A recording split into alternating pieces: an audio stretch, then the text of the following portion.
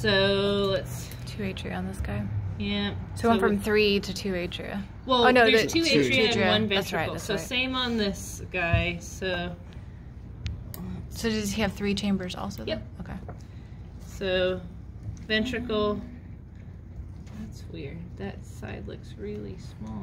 Unless, yeah, that's it. So ventricle, atria, ventricle, atria, ventricle, atria. So the vi- ventricle's in the middle and the atria are on the side on this Mhm. guy. That one's really small. yeah, that one's a lot smaller. Ventricle atria. Okay. Weird. So for the turtle, are we gonna have a like live specimen or no? No, I, I didn't think so. Mm-mm. It's gonna be these guys or that guy. Well, probably not, not- that guy because that guy's A live specimen. Not She live, meant but like this. dead. Yeah, yeah, Yeah. it'll be this. Yeah. The dude. You're Yeah. just have a, a live turtle running around. I. Only just ask external stuff and not have to kill That would be them. awesome. I just wanted to make sure because I was like, you don't like to cut them, so I didn't know if you were gonna. Yeah, we will. I'll have to. Make And- water do. Yeah, a lot of times what we'll do is we'll dissect one on like